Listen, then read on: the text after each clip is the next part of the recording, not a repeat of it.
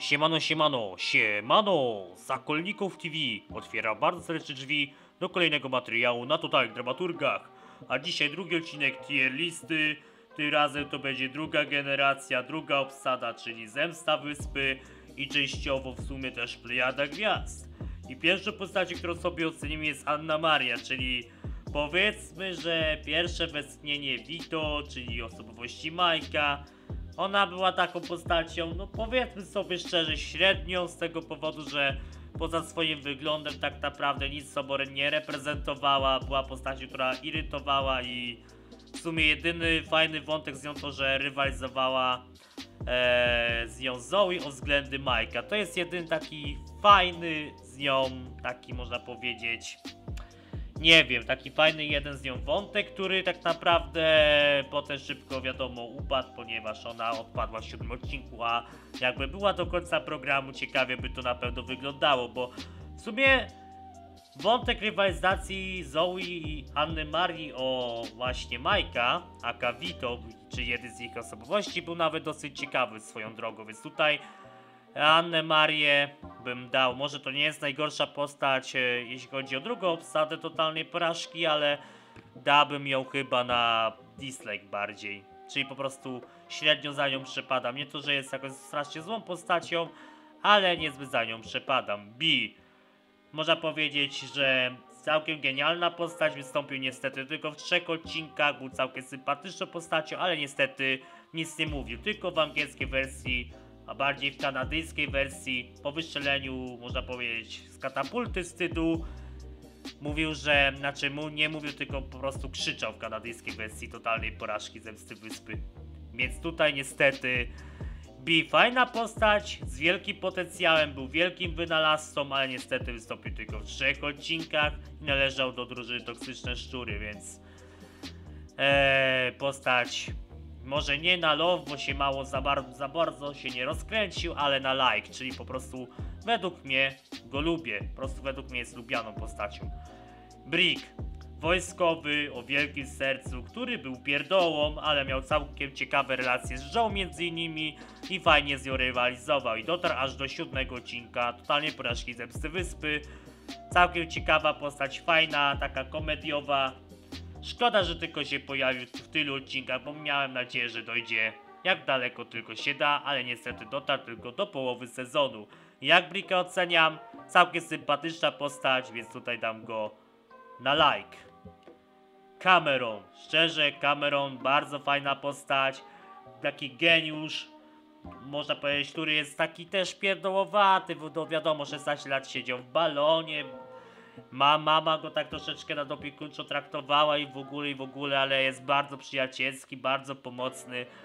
No i lubi kontakty międzyludzkie, mimo że jest bardzo wstydliwy i tutaj ja bym go dał na love. I też Plejadzie Gaz, bo mi go szkoda jak się Sierra nad nim znęcała tak troszeczkę. Bo ten wątek tak trochę niepotrzebny w mojej opinii był z, nimi z ale no, no cóż, bywa. Dakota, wielka bogaczka, można powiedzieć, córeczka tatusia, która występowała w rywalizacji tylko w dwóch odcinkach, potem była starzystka, potem zmieniła się mutanta i, i zdobyła serce sama, mimo że na początku jej się w ogóle nie podobał. Jak mam ją ocenić? Jak dla mnie spoko postać, tylko bardzo źle traktowana i uważam, że jej wątki były tak poprowadzone troszeczkę słabo, ale uważam, że to jest naprawdę całkiem fajna postać, więc tutaj dam ją na like. Dawn Moja ulubiona postać z totalnej porażki zemsty wyspy, nieumiejętności można powiedzieć przewidywania może nie to, że przyszłości, ale odczytywanie aur, zwierząt, ludzi, zachowań ogólnie każdego człowieka, którego spotka na swojej drodze.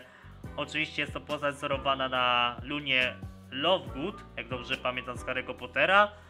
Więc jeszcze tutaj ciekawy smaczek tutaj wam zapodam, jak ktoś jeszcze o tym nie wiedzie, a raczej już każdy o tym wie, że to jest postać wzorowana na jednej z postaci z uniwersum Harry'ego Pottera, autorstwa J.K. Rowling. Więc tutaj mog mogę co powiedzieć. Fajna postać, niestety występowała tylko w pięciu odcinkach i nie pojawiła się z jakichś tam powodów w Plejadzie Gwiazd, co nie jest do końca też tam znane. Tam niby ona była planowana w Plejadzie Gwiazd, ale potem się nie pojawiła tam. Zapomnieli kompletnie o tej postaci, ale to wiadomo, plotki plotkami, więc tutaj nie ma co w to wierzyć. Więc tutaj moja faworytka, jeśli chodzi o dziewczą drugą obsadę. leci tutaj Joe. Kurde, ciężko powiedzieć. Z jednej strony jej się nie lubi, jeśli chodzi o mnie, bo jest bardzo pyskata, halska, tak samo jak Iwa z pierwszej obsady, ale z drugiej strony ciekawe relacje miała pomiędzy Brickiem, jeśli chodzi o rywalizację i troszeczkę z Lightningiem. Fajne wątki się pojawiały w Zemście Wyspy i potem dużo słabsze Plejadzie Gwiazd, co doprowadziło do, szyb do szybkiej eliminacji właśnie Lightninga.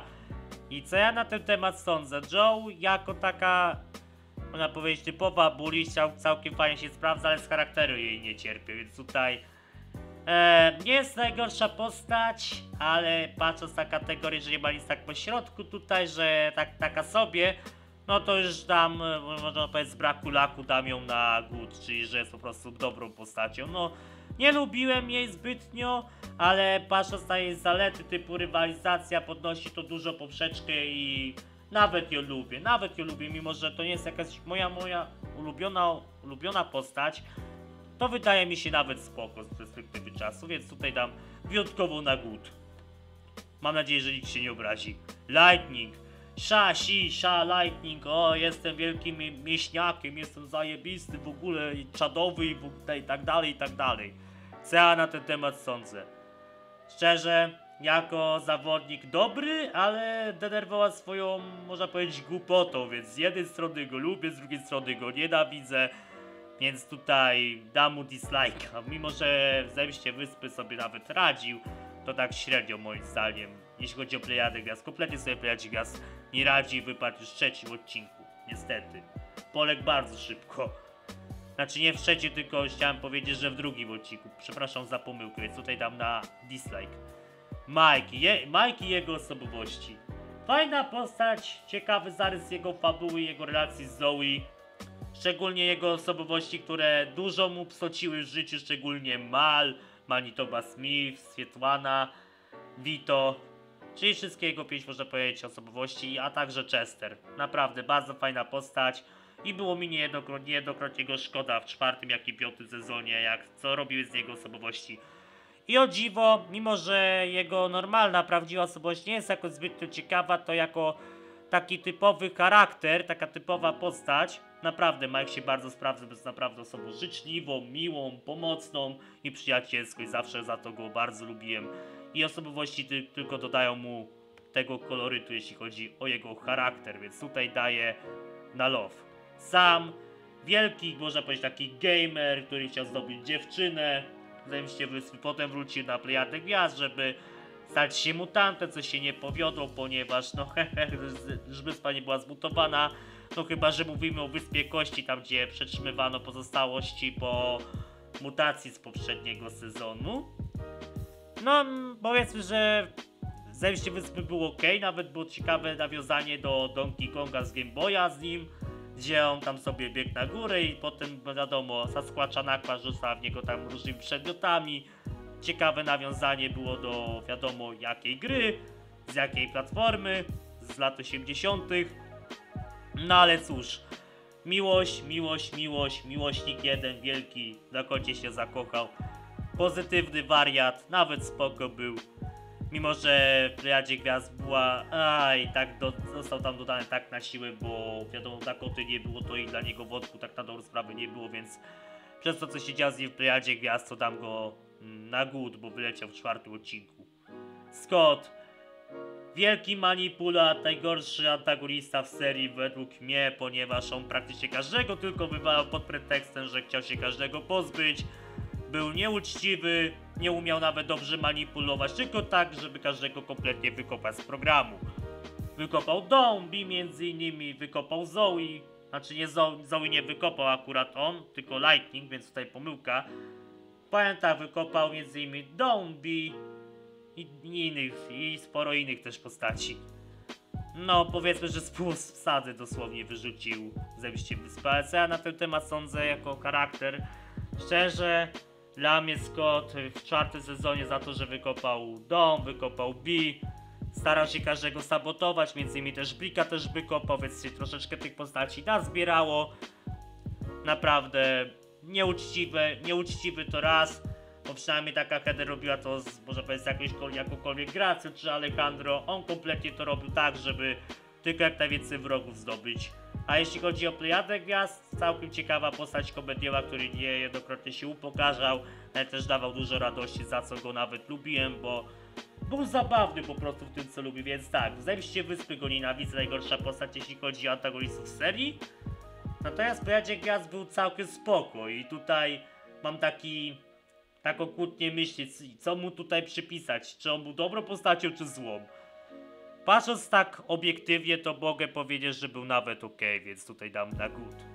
Stacy gaduła, plaplała o swoich przodkach, czego to oni nie zrobiła w rezultacie tak naprawdę to nic. Odpada w pierwszym odcinku Zemsty Wyspy i pojawia się tylko już w finale.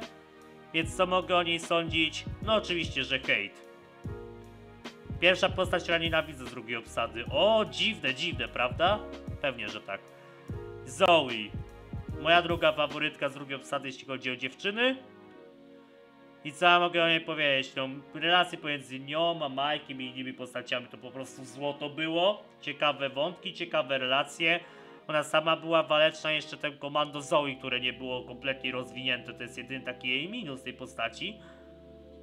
Ale tak poza tym całkiem ciekawe wątki, fajne relacje.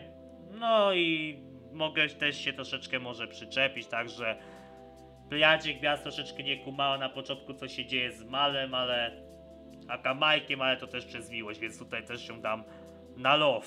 Bo wiadomo, bo to Zoe jest. wiadomo o co chodzi. No i wygrała w jeden zakończeń Plejadę Gwiazd.